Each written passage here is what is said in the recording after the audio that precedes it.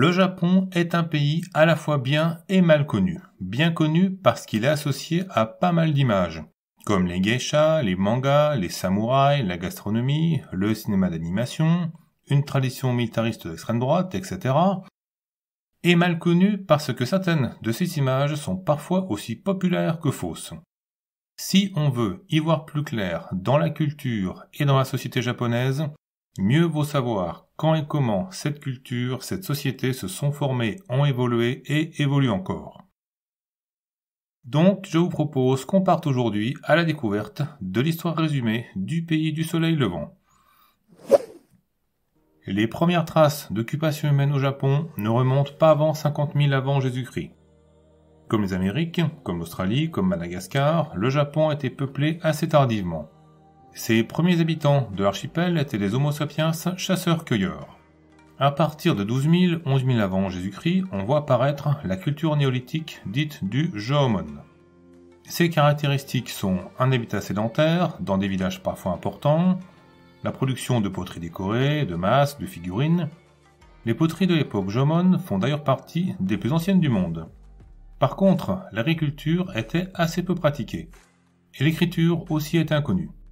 Précisons que cette culture Jomon était loin d'être répandue dans tout le Japon, et que certaines de ses caractéristiques se trouvaient aussi sur le continent. La preuve d'échanges et de déplacements de population déjà réguliers par la mer. À partir de 400 avant Jésus-Christ, on voit arriver depuis le continent des populations en nombre nettement plus important qu'avant. D'où fin de l'époque Jomon et début de l'époque dite Yayoi. L'agriculture se développe, le travail des métaux apparaît, mais l'écriture reste inconnue. Donc les premières sources écrites qu'on a sur le Japon sont chinoises et ne datent pas avant le 3 siècle après Jésus-Christ. Et les Chinois sont plutôt sévères avec leurs voisins. Ils en parlent comme des gens qui marchent pieds nus, qui mangent avec leurs mains, qui se couvrent le corps de tatouages, mais les textes chinois parlent aussi dans le Japon du IIIe siècle d'un royaume assez puissant appelé le Yamatai. Yamatai qui faisait du commerce avec le royaume chinois de Wei. À sa tête, une reine appelée Himiko. On ne sait pas encore où se trouvait le Yamatai, peut-être l'île de Kyushu, peut-être la région du Kansai, mais il montre en tout cas qu'existaient déjà des organisations territoriales qui avaient largement dépassé le cadre de la tribu repliée sur elle-même. À partir de la fin du IIIe siècle commence une période de construction de grands tombeaux appelés les kofun. Ces kofun étaient destinés à accueillir les dépouilles des chefs des grands clans aristocratiques, ce qui était le signe d'une société de plus en plus complexe et hiérarchisée. Le plus grand des kofun a été construit dans la région de Osaka au IVe siècle. Il montre la puissance des grands clans aristocratiques de cette région, autour de qui va se mettre en place un mouvement d'unification politique qui va progressivement aboutir à la mise en place, vers le VIe siècle, d'un premier État japonais qui au début s'appelle le Yamato et dont les souverains ont le titre de Okimi. Mais au début, il ne couvre qu'une partie du territoire japonais actuel. N'en font partie ni l'île de Hokkaido au nord, ni la partie nord de l'île de Honshu, ni l'archipel d'Elyukyu au sud. Hokkaido sera progressivement colonisé et annexé à partir du XVIIe siècle. Les îles Ryukyu, elles, formeront un royaume indépendant qui ne sera pas annexé avant 1879. On peut retenir la date de 587 comme celle du début de la période de ce qu'on peut appeler la construction d'un État. Car c'est cette année-là que le clan Soga, après avoir éliminé ses rivaux par la force, arrive à la tête du pays. Le clan Nakatomi l'évince dès 645 mais il continue et renforce une politique de construction d'un État et d'une administration sur le modèle des voisins chinois et coréens. Ainsi, la Constitution en 17 articles de 604 fait du bouddhisme et du confucianisme les éléments centraux de la culture politique. La réforme de Taika en 646 et le code Taiho en 701 organisent, eux, les taxes et l'administration sur le modèle de la Chine. La nouvelle capitale Nala, fondée en 710, s'inspire, elle, de l'architecture des capitales chinoises. Et l'écriture se met enfin en place par l'importation et la réutilisation du système d'idogramme chinois. Le but de ces réformes, c'est bien sûr d'affirmer la puissance et l'identité japonaise. Par exemple, une des appellations pour désigner l'empereur du Japon, Tenno, appellation utilisée à partir de 674, cette appellation donc s'inspire directement du titre de empereur chinois pour bien montrer l'égalité de statut. sont écrites aussi les chroniques officielles du Kojiki en 712 et du Nihonshoki en 720 qui fondent une histoire mythologique officielle du pays. C'est aussi à cette époque que le pays prend le nom de Japon, prononcé Nihon ou Nippon en japonais. Les deux caractères qui forment ce mot signifient littéralement soleil origine, soit pays de l'Est, ce qui était sa position géographique par rapport à la Chine et à la Corée, et de là vient le nom de pays du soleil levant. En même temps, le bouddhisme devient religion officielle. Alors attention, officiel ne veut pas dire exclusive et unique. Au Japon, il y avait alors une religion appelée le Shinto, un culte polythéiste populaire qu'on peut comparer aux religions traditionnelles des anciens Grecs et des Gaulois. Les Japonais ont continué à pratiquer ces deux religions ensemble et les pratiquent toujours. Et quand je dis ensemble, je ne veux pas dire que ces deux cultes cohabitent séparés, chacun avec son clergé et ses fidèles. Non, la majorité des Japonais pratiquent ces deux religions en même temps. Ils vont au temple shinto et au temple bouddhiste. L'époque de Heian débute en 794 avec le déplacement de la capitale dans la nouvelle ville de Kyoto. Le Japon connaît alors un âge d'or au niveau culturel. C'est à cette époque qu'est inventé le système alphabétique dit des kana, lesquels vont dorénavant être utilisés avec les idogrammes d'origine chinoise. On voit aussi un nouveau développement du bouddhisme avec la fondation de courants typiquement japonais comme le Shingon. Et c'est aussi à l'époque de Heian, au XIe siècle exactement, qu'est écrit le Genji Monogatari, considéré parfois comme un des premiers romans du monde. Le Japon est alors un des grands foyers culturels de la planète. Seulement, cette époque est aussi celle de la montée en puissance dans les régions de grands aristocrates appelés les daimyo. Ces daimyo deviennent de plus en plus puissants, de plus en plus indépendants du pouvoir central. Ils appuient leur pouvoir sur tout un réseau de fidélité privée de vassaux qui ont eux-mêmes d'autres vassaux. La féodalité de l'Europe du Moyen Âge se rapproche pas mal de ce système de dépendance personnelle. Les armées privées de ces daimyo forment les premiers samouraïs. Résultat, le pouvoir impérial s'affaiblit de plus en plus. Les révoltes s'accroissent jusqu'à aboutir en 1180 à une vraie guerre civile appelée la guerre de Genpei, qui va opposer le clan des Taira, opposé à l'empereur, aux Minamoto, fidèles eux à la couronne, et qui va s'achever en 1185 par la victoire des Minamoto. En 1192, le chef du clan Minamoto, Minamoto no Yoritomo, est nommé par l'empereur Shogun, un nouveau titre qui veut dire littéralement général en chef chargé de la pacification des barbares. Un genre de généralissime de chef d'état-major qui est dorénavant le vrai numéro 1 de l'État. L'empereur n'a plus de pouvoir réel. C'est le clan Minamoto qui, dans les faits, dirige le pays. Il installe son propre gouvernement militaire et sa propre dynastie à Kamakura, au sud de l'actuel Tokyo les shoguns Minamoto doivent affronter en 1274 et en 1280 les tentatives d'invasion mongole. Mais pas de chance pour ces fameux guerriers qui avaient conquis toute l'Eurasie, de la Corée à la Pologne, la majorité de leur flotte est à chaque fois détruite par les typhons, et le peu de soldats mongols qui débarquent sont vaincus par les armées des shoguns. On a donné à ces typhons providentiels le nom de kamikaze, kamikaze, ce qui veut dire vent des dieux. Par la suite, ce nom a bien sûr pris un sens assez différent. Les dieux ont peut-être aidé le Japon, mais ne favorisent pas le clan Minamoto. Car ces campagnes contre les Mongols leur ont coûté tellement cher qu'ils n'ont plus les moyens de rémunérer leurs vassaux qui, mécontents se rebiffent, obéissent de moins en moins, ce qui affaiblit progressivement leur autorité. L'empereur Godago en profite pour évincer les Minamoto en 1333 et restaurer un pouvoir impérial direct. Mais dès 1336, il doit à nouveau céder la réalité du pouvoir à un autre daimyo, Ashikaga Takauchi. Ashikaga se fait nommer shogun et va jusqu'à nommer un nouvel empereur rival de la dynastie impériale traditionnelle. Une nouvelle dynastie de shoguns s'installe. À partir de 1477, le Japon entre dans une période d'anarchie politique généralisée appelée l'époque Sengoku, qui veut dire province en guerre. Les shoguns Ashikaga perdent leur autorité devant leurs vassaux, qui eux-mêmes ne sont plus respectés par leurs propres vassaux, etc. Les seigneurs locaux se livrent entre eux à des guerres sans fin. des samouraïs, soldats au service de ces seigneurs locaux, changent facilement de camp au gré des combats. Des villes en viennent à se gérer elles-mêmes en quasi-indépendance, et dans les campagnes, les paysans s'organisent en ligue pour se défendre contre les pillages et les violences. Autant pour le stéréotype des Japonais, qui seraient par tradition, par culture, disciplinés et soumis à l'autorité. Alors, ne croyez quand même pas à un pays qui serait à feu et à sang. Le commerce avec le continent se maintient et même se développe. Et c'est à cette époque qu'on va apparaître le théâtre No, l'art floral appelé Ikebana, et la cérémonie du thé. Rivalité politico-militaire en même temps que croissance économique et culturelle, le nord de l'Italie connaissait à la même époque un peu la même chose.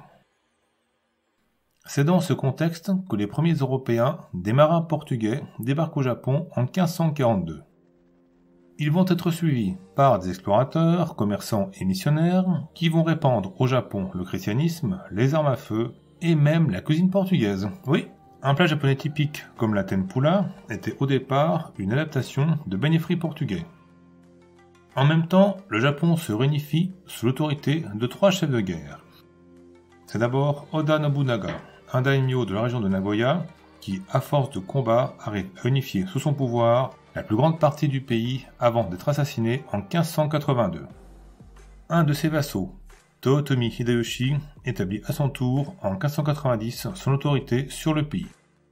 Toyotomi se sent assez fort pour lancer en 1592 et en 1597 deux campagnes d'invasion de la Corée qui échouent. Il meurt en 1598, ce qui amène de nouvelles rivalités pour le pouvoir, et finalement, en 1600, Tokugawa Ieyasu, autre daimyo, bat ses rivaux à la bataille de Sekigahara. Le pays est définitivement réunifié. Une nouvelle période de son histoire va s'ouvrir, l'époque de Edo. Edo est, à cette époque, le nom de la ville qui sera plus tard appelée Tokyo, et où Tokugawa, nommé shogun par l'empereur, installe son propre gouvernement. Comme avant, l'empereur et sa cour à Kyoto restent sans pouvoir réel. C'est Tokugawa et ses descendants, shogun à leur tour, qui seront les maîtres du pays jusqu'au XIXe siècle. Pour mettre fin à l'instabilité politique que le pays a connue et du coup asseoir son pouvoir, Tokugawa va mettre en place une hiérarchisation très stricte de la société. La population japonaise est dorénavant divisée en trois groupes principaux. Les guerriers, appelés bouquets, plus connus sous le nom de samouraïs, les roturiers des campagnes, appelés yakusho, et les roturiers des villes, appelés chonin. Mais ne croyez pas pour autant à des statuts rigides et homogènes.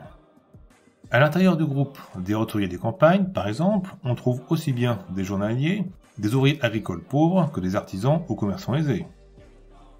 Les guerriers, eux, forment un peu comme une noblesse guerrière, qui a des privilèges, comme le droit exclusif de porter le sabre, ou de tuer sur le champ toute personne qui leur manque de respect. Mais, tandis que certains de ces guerriers sont placés en haut de l'échelle sociale, très aisés financièrement, eh bien d'autres se retrouvent sans revenus et vivent, pour ne pas dire survivent, de vol ou de mendicité. Les daimyo les plus importants, vassaux directs du shogun, doivent résider à Edo la moitié de l'année et l'autre moitié y laisser leur famille. Une méthode simple et efficace pour les surveiller en permanence. En même temps, Tokugawa va mettre en place dès la première moitié du XVIIe siècle une politique de fermeture du Japon à l'étranger. Les commerçants et missionnaires européens sont expulsés. Les Japonais n'ont plus le droit de quitter le pays. Les étrangers, plus celui d'y entrer. Le christianisme est interdit. Les chrétiens japonais persécutés. Cette politique va durer jusqu'au XIXe siècle, mais il faut quand même annoncer l'image d'un pays qui aurait été totalement fermé. Cette fermeture a été partielle, parce que les échanges commerciaux ont continué avec la Corée, la Chine et le royaume des îles Ryukyu. Et même la fermeture aux étrangers n'a pas été totale, car les commerçants hollandais sont restés tolérés sur l'îlot artificiel de Dejima au large de Nagasaki.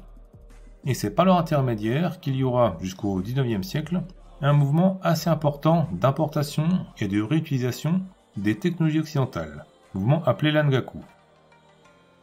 On traduit des livres de médecine, des livres de physique, on ouvre des centres de formation au commerce, à l'électricité. Ça a pu être un facteur assez important de la forte croissance économique que connaît le Japon de cette époque. En 1673, un premier grand magasin de kimono est ouvert à Edo Et vers les années 1820-1830, on voit apparaître les premières manufactures ouvrières dans les régions de Osaka et de Nara.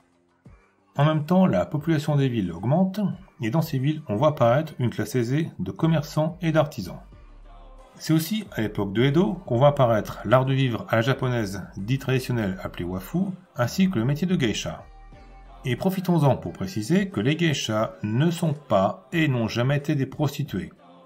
C'est une idée reçue qui peut encore avoir cours, mais les geishas sont des professions libérales, des artistes qui pratiquent différents arts traditionnels pour animer des soirées de clients. Le terme même de geisha peut se traduire par artiste. C'est le sens des deux caractères qui le forment, art, personne. Si une partie de la population des villes s'enrichit, les paysans, eux, voient leur niveau de vie stagner, voire régresser à partir du XVIIIe siècle. En cause, une fiscalité très dure et des mauvaises récoltes. Des famines touchent les campagnes, avec pour résultat des mouvements de révolte qui, à partir des années 1830, vont s'étendre à certaines villes, toucher des régions entières, d'une ambiance de vraie lutte des classes. Là encore, autant pour le stéréotype des Japonais, qui seraient par tradition, par culture, toujours disciplinés et soumis à l'autorité. On a pu parler de crise sociale pour le régime des shoguns Tokugawa. La confrontation brutale avec les puissances occidentales va lui donner le coup de grâce. En juillet 1853, quatre navires de guerre américains débarquent en baie de Edo. Cette flotte est commandée par l'amiral Perry, qui demande, au nom de son gouvernement, l'ouverture de relations politiques et commerciales entre le Japon et les États-Unis. La demande est courtoise, mais la puissance militaire déployée fait peur au shogun qui accepte. Dès 1854, le traité d'amitié Japon-États-Unis est signé. Et quatre ans plus tard, en 1858, c'est un traité commercial complet qui est conclu. Les Américains en sont bien sûr les principaux bénéficiaires. Ils obtiennent des taxes très faibles à l'exportation et à l'importation, ainsi que la liberté pour leurs ressortissants de vivre dans certains ports et d'y être jugés selon les lois américaines devant des tribunaux spécifiques. D'autres grandes puissances occidentales, France, Grande-Bretagne, Russie, obtiennent rapidement la signature d'autres traités similaires. De fait, le Japon passe sous la tutelle des puissances occidentales, les shoguns sont vite discrédités pour leur faiblesse. En même temps, l'ouverture brutale et rapide au commerce international va entraîner une très forte hausse de la circulation monétaire, d'où une forte inflation. Et cette inflation entraîne appauvrissement, chômage, disette, mouvements de révolte, assassinat de dirigeants politiques, violence contre les étrangers.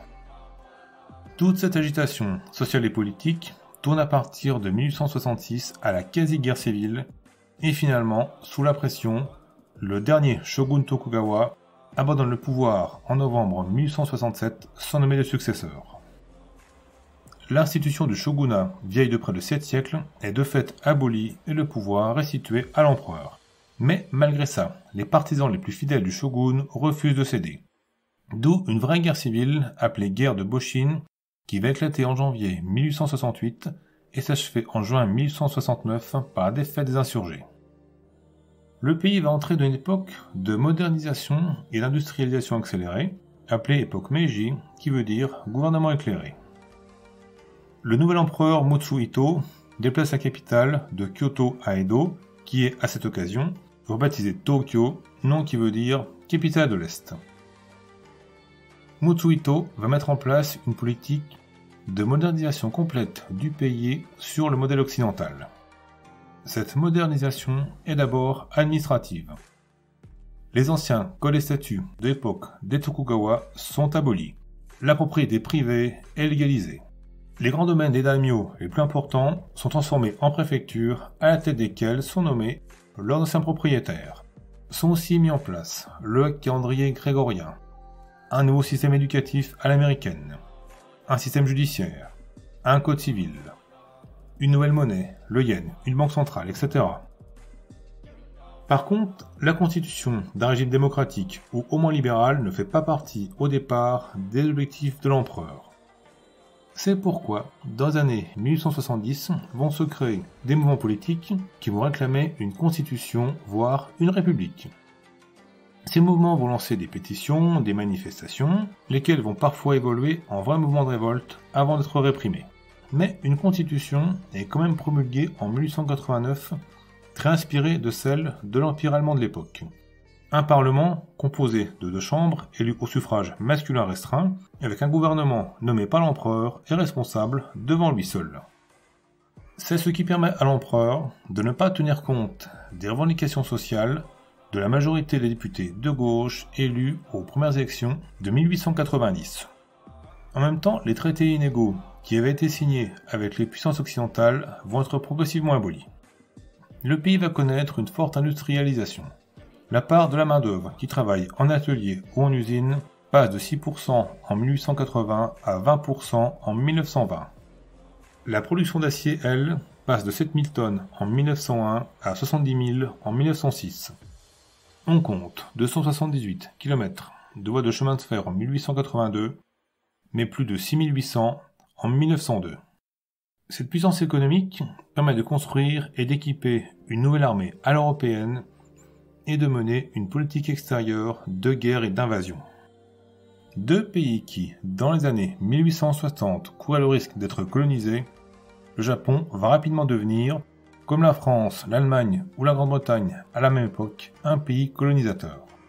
C'est d'abord le royaume des îles Ryukyu, jusque-là indépendant mais vassal du Japon, qui est annexé sans violence en 1879. En 1894, première guerre contre la Chine, qui aboutit à l'invasion de la Corée, de la Mandchourie et à l'annexion de Taïwan.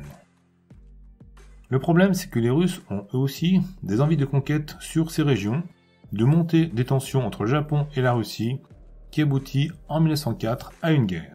La Russie, battue en 1905, reconnaît les conquêtes du Japon sur la Chine et l'île de Sakhalin au nord de Hokkaido. Le Japon en profitera pour annexer la Corée en 1910. Ce n'était pas la première fois qu'une race présumée inférieure battait une race présumée supérieure. L'Italie avait déjà été vaincue par l'Éthiopie à Adwa quelques années avant. Mais la guerre russo-japonaise frappe l'opinion occidentale par l'ampleur des combats et par les moyens militaires les plus récents qui sont utilisés. En 1914, quand la Première Guerre mondiale éclate, le Japon s'engage aux côtés de la France et de la Grande-Bretagne contre l'Allemagne. Mais la participation japonaise à la Première Guerre mondiale va se limiter à la conquête des possessions allemandes en Asie-Pacifique, région chinoise du Shandong, îles Caroline, Marshall et Marianne. À l'occasion de la guerre civile russe, le Japon occupe en 1918 Vladivostok et l'est de la Sibérie. Les années 20 vont être marquées par un mouvement de démocratisation assez net. Le suffrage universel masculin est mis en place en 1925. La vie politique donne plus d'importance aux partis. La politique d'assimilation culturelle forcée, jusque-là menée en Corée, s'assouplit. Mais la grande crise économique mondiale de 1929 va faire basculer le pays d'une période de folie guerrière. Parce que cette crise, en effet, avec tous les problèmes économiques et sociaux qu'elle engendre, va favoriser la montée d'un nationalisme agressif. Pourquoi ne pas conquérir de nouveaux territoires en Asie pour y prendre un accès direct à l'énergie, aux matières premières, et placer comme colons les Japonais victimes de la crise? Le 18 septembre 1931, a lieu dans la Mandchourie chinoise, sous tutelle du Japon depuis 1895, l'incident de Mukden. L'explosion sur une voie ferrée d'une bombe attribuée à des rebelles chinois, mais en fait un coup monté par les militaires japonais qui sert de prétexte à une occupation complète de la Mandchourie chinoise. Cette région est même transformée en 1932 en État indépendant du Manchukuo, à la tête duquel est nommé comme souverain Puyi, le dernier héritier de la famille impériale chinoise en réalité, bien sûr, un État fantoche entre les mains du Japon. Face aux protestations internationales qui ne manquent pas d'arriver, le Japon répond en quittant la SDN, Société des Nations, équivalent à l'époque de l'ONU, et se rapproche de l'Allemagne nazie. Les très nombreux militaires japonais massés alors en Mandchourie et donc la frontière soviétique sont peut-être considérés d'un bon oeil par Hitler qui voit un moyen de prendre l'URSS à revers en cas de conflit d'où rapprochement et tractation entre le Japon et l'Allemagne qui aboutissent en novembre 1936 à la signature du pacte anti-Comintern, en fait anti-URSS. Le 7 juillet 1937, un incident entre soldats chinois et japonais près de Pékin sert de prétexte à une attaque générale de la Chine. Pékin, Shanghai, Nankin. Les régions côtières nord sont envahies par l'armée japonaise qui se livre à de véritables atrocités sur les civils. Mais la résistance chinoise et la grande taille du territoire à conquérir font progressivement s'essouffler l'agression et s'enliser le conflit à partir de 1938. La Chine est alors soutenue militairement par l'URSS, ce qui explique peut-être pourquoi les militaires japonais tournent leurs obsessions de conquête vers la Sibérie. Mais l'armée japonaise est repoussée par les soviétiques à la bataille de Kekingol en septembre 1939. Donc, nouvelle orientation des obsessions de conquête vers le sud. Le Japon profite de la défaite française de juin 1940 pour, en septembre, entrer en Indochine française. Le même mois, il rejoint officiellement l'alliance avec les grandes puissances fascistes par la constitution de l'axe Tokyo-Rome-Berlin. Mais les États-Unis répondent aux agressions japonaises en Asie par un blocus économique en juillet 1941. En réponse, les militaires japonais attaquent et détruisent le 7 décembre 1941 la flotte américaine du Pacifique stationnée à Pearl Harbor, près de Hawaï. L'armée japonaise a les mains libres pour, dans les mois qui suivent, occuper Singapour, la Malaisie, la Birmanie, les Philippines, l'Indonésie. Elle menace même l'Australie et l'Inde. Mais l'avancée japonaise est stoppée dès juin 1942 à la bataille de Midway les États-Unis mettent vite en marche leur énorme potentiel industriel et militaire et, aidés par les armées britanniques et australiennes, vont progressivement reprendre l'ensemble des territoires envahis. La résistance japonaise est acharnée, comme à Guadalcanal par exemple, mais l'avance américaine est inexorable. Au printemps 1945, quand les Américains débarquent à Okinawa, la situation du Japon est catastrophique. Ville ravagée par les bombardements, économie ruinée, forces aériennes et navales presque complètement détruites. Mais les militaires continuent à s'acharner à résister, notamment par l'emploi des avions suicides kamikazes. Il faudra, en août 1945, les bombardements atomiques de Hiroshima, de Nagasaki et l'invasion soviétique de la Mandchourie pour que l'empereur Hirohito accepte la capitulation signée en septembre 1945. Massacre de masse de civils, esclavage sexuel, travail forcé, expérience médicale sur des cobayes humains, usage d'armes chimiques. Les horreurs japonaises des années 30 et 40 sont responsables de millions de morts et par certains côtés ont dépassé les horreurs allemandes en Europe. Les Américains occupent et administrent le Japon de 1945 à 1952. Des grands changements sont alors mis en place. Abandon de tous les territoires conquis depuis l'époque Meiji. Démilitarisation, démantèlement des grands groupes industriels, nouvelle constitution qui installe le suffrage universel et dans laquelle l'empereur renonce à tous ses pouvoirs, dans laquelle le Japon renonce à mener des guerres d'agression, nouveau code civil, jugement des criminels de guerre. Même après 1952, les Américains vont maintenir des bases militaires permanentes, toujours présentes actuellement, et continuer à administrer directement l'archipel des Ryukyu jusqu'en 1972. Cette présence américaine n'est pas forcément bien vue par toute la population, et des grosses manifestations anti-américaines auront lieu dans les années 50 et 60. En même temps, guerre froide oblige, l'oncle Sam veut faire de l'ancien ennemi un allié face à l'URSS, la Chine et la Corée du Nord, d'où la signature en 1951 du traité de San Francisco. Résultat, des criminels de guerre présumés échappent à la justice et des litiges frontaliers avec certains pays voisins du Japon ne sont pas réglés. Le Japon va se reconstruire et connaître une croissance économique de plus en plus soutenue à partir des années 50. Une croissance qui n'a rien de miraculeux ou d'artificiel, comme on a pu parfois l'écrire, même si l'aide américaine a joué. Avant la Seconde Guerre mondiale, le Japon était déjà une grosse puissance économique. Donc, tout le savoir-faire et les capitaux utilisés jusqu'à maintenant dans le secteur militaire sont dorénavant investis dans l'industrie civile. Le pays va vite devenir un leader mondial dans des domaines comme l'automobile, l'électronique grand public, et son PIB devient le deuxième du monde en 1968. La croissance économique se maintient même après les chocs pétroliers des années 70. Le Japon investit en masse dans les hautes technologies et donne l'impression de pouvoir dépasser un jour la puissance américaine. Résultat d'une partie de l'opinion occidentale une peur du Japon à l'origine de titres de journaux et de déclarations de politiciens limite, pour ne pas dire ouvertement racistes.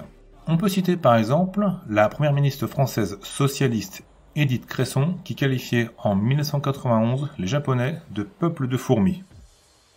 C'est justement en 1991 qu'une nouvelle période de l'histoire du Japon va s'ouvrir avec une forte récession suivie depuis par des difficultés économiques persistantes. Croissance faible, endettement public énorme, rétrogradation du PIB japonais de la deuxième à la troisième place mondiale en 2010, l'appauvrissement d'une grande partie des Japonais, la faible fécondité, le vieillissement de la population, la concurrence d'autres pays comme la Corée du Sud, bref, tout ça fait planer pas mal d'inquiétudes sur l'avenir du pays et a pu faire parler de déclin irrémédiable, voire de décomposition du Japon. Ce qui est un peu confondre ses désirs avec la réalité. Parce que le pays reste une des premières puissances économiques et technologiques mondiales. Il garde et renforce même des gros atouts économiques. Et puis, les problèmes sociaux qu'il rencontre sont communs à beaucoup d'autres pays développés. En même temps, on a l'impression que le pays redevient progressivement, ou en tout cas veut redevenir une puissance géopolitique. Le budget militaire augmente. Des traités bilatéraux de coopération militaire sont signés avec l'Inde, la Grande-Bretagne. Une base militaire permanente est ouverte à l'étranger. Seulement, en même temps, avec la Chine et la Corée du Sud, les litiges sur des questions de territoires contestés persistent, voire s'aggravent. En parallèle, depuis les décennies 2000 et 2010, le Japon exerce un attrait croissant dans le monde par l'export de sa culture populaire. Manga, gastronomie, films d'animation, culture dite kawaii, avec pour conséquence un tourisme de plus en plus important et une image du pays à l'international qui est une des meilleures du monde. Aujourd'hui, comme par le passé, comme depuis toujours en fait, le Japon est un pays qui bouge, qui évolue, qui se transforme. Voilà, je vous remercie d'avoir écouté cet épisode. S'il vous a plu, pensez à le partager sur vos réseaux sociaux, que ça soit sur YouTube, sur Audible, sur Apple Podcast ou sur vos autres plateformes de podcast préférées, mettez-lui un like. Si le cœur vous en dit, lâchez un petit commentaire, ça m'aide à être mieux référencé. Vous pouvez aussi me laisser un pourboire sur Tipeee, pour ça le lien est dans la description. Et vous êtes aussi bien sûr invité à vous abonner au podcast. Très bonne journée ou très bonne soirée, ça ça dépend de quand vous m'écoutez, et à très bientôt.